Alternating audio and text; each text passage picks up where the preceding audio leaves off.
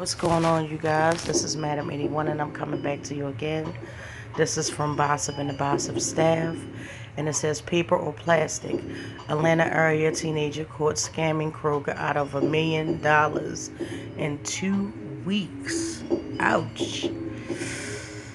It says if you live in Atlanta or visited here enough, you know there is big scam energy in this city. Creative con artists have found a litany of loopholes and they have no consciences about using these cracks to stack racks on racks on racks.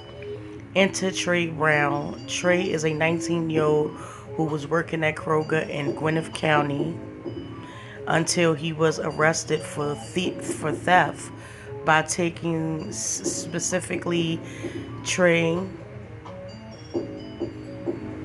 is charged with scamming $980,000 in just two weeks, according to Fox 5 Atlanta. Peep the game, okay? Trey figured out how to charge back returns to a credit card by creating fake transactions through the cashier system. Like most scams, it seems cool at first until the greed kicks in. Gwinnett Corporal Collins Flynn explains. In the statement, it says the first one he did was in the range of $10. As he continued to get away with it, the prices continued to go up until he made a return of over 87,000 that returned to a credit card, Flynn said.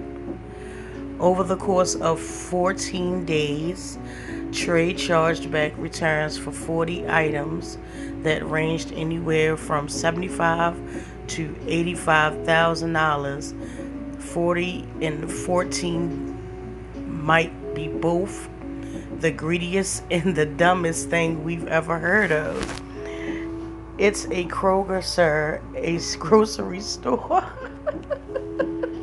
well, they definitely right about that, honey. How much money in returns do you think goes through there on any given day? It's not a it's not Bloomingdale's. The report states another employee noticed the strange transactions and alerted, the police during the investigation. They found that Trey had bought clothes, shoes, guns, and two cars.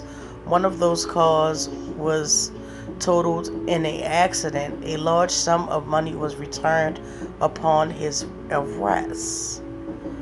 Ooh, ooh, sheesh.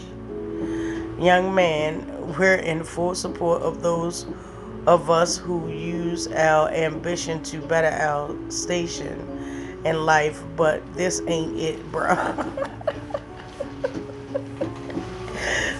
so what do y'all think about that? Um, I mean, man, two weeks, almost a million dollars. That's tough, man. Like Kroger, what's what's really going on, Kroger? Like what?